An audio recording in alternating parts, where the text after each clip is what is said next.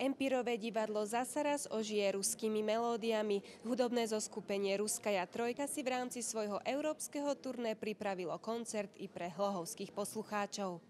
V triu účinkuje solistka Národného divadla v Petrohrade Olga Grudinina so svojím ansáblom. Posledný oktobrový víkend hudobníci vtiahli hlohovčanov do sveta známych ruských piesní, ktoré zdomácneli na svetových pódiách. V tejto formácii z, e, sme na Slovensku už tretíkrát. E, predtým to bola Ruská trojka v inom e, nástrojovom obsadení. E, turné je výborné som milo prekvapený, že i napriek tomu, že nehráme klasické ruské pesničky ako Kaťuša Kalinka, e, na začiatku to síce ľudia nevedia, ale po koncerte je standing ovation a, a veľmi, veľmi sa im to páči.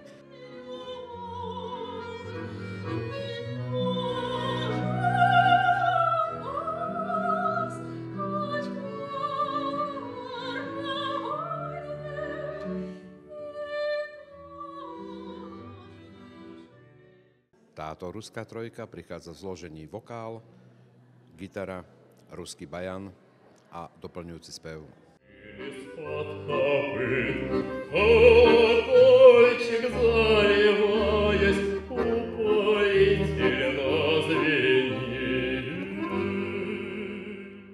Zaujímalo nás, prečo si spevačka Olga vybrala práve tento žáner. Ja очень люблю лирику, я люблю стихи, И когда э, в музыке оживают слова, это очень здорово. То есть э, душа, у меня душа поет. Э, я очень стеснительный человек, но я не могу не петь. И я выбрала не большую сцену, не, не оперу, а именно маленькие камерные романсы, музыку, песни. И поэтому пою романсы, где рассказывается про любовь, про чувства, také откровenie, nežnosti. Hudobný štýl ruský romans, ktorý zaznel na koncerte, sa začal vyvíjať už v 17. storočí. V tých starších dobách sa tie piesne písali väčšinou, muzika sa skladala na hotový text známych ruských básnikov, ako je Puškin, Sergej Jesenin a podobne.